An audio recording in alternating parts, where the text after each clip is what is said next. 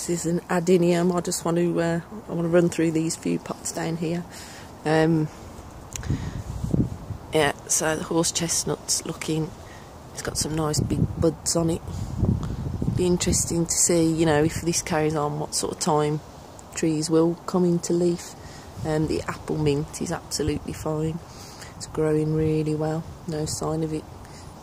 You know, the older growth looking scabby.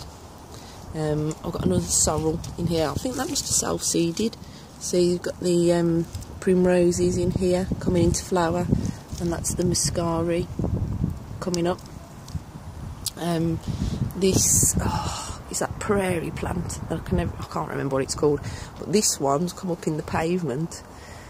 That only came up. It's got to have been October, um, and it's got it did. It went into flower. Look.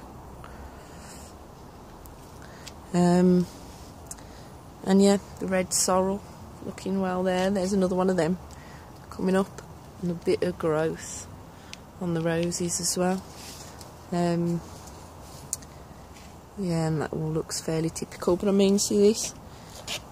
Normally, I mean, we've had mild winters where the grass keeps growing, and this has, and not at a massive rate, a fairly steady rate, but generally through winter, all this would be dead.